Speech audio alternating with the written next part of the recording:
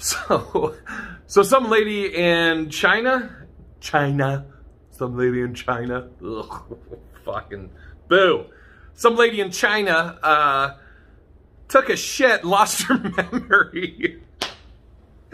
Apparently, this lady was constipated, uh, sat down to take a turd, and I guess when she got done, she was like, lost 10 years of memories.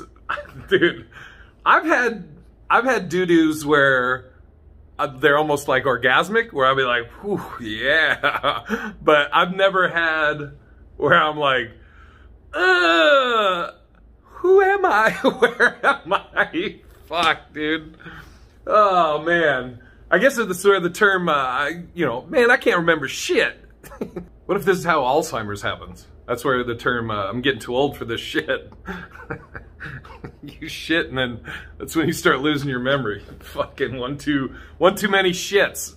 this must be terrifying too. Can you imagine you're just, you're in the living room with your significant other, guy or girl. You're like, I'll be right back, I gotta go to the bathroom. Then you go, you take a shit, and you come back up, and you're just like, who the fuck are you? Why does this place smell like shit? It's also, I mean, you could use this to your advantage though. Your girl catches you cheating. She's like, I want to know everything. You better tell me everything. And you just immediately just start, who are you? Maybe you're a spy. You get caught behind enemy lines. We want to know what are the plans? And you go, okay, I'll, I'll tell you everything. Can I just, really quick though, can I just use the restroom? you just come back out.